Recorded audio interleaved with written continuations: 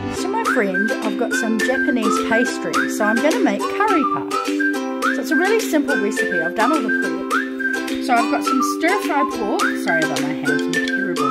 Better at cooking than I am at filming. It's got some apples. So four small apples, two too big.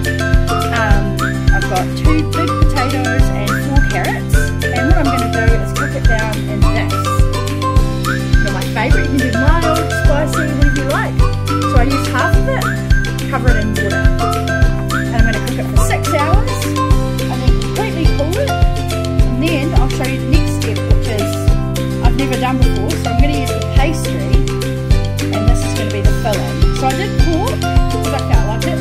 You can do the chicken beef. I love Japanese curry because it's quite mild and it's traditional to have the potato and the carrot, but I add apple if I'm doing pork, which is also semi-traditional.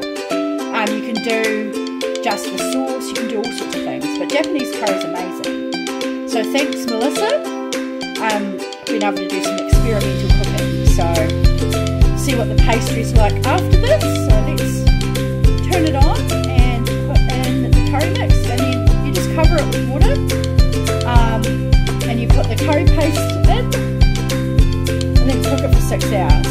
I'll show you what it looks like after.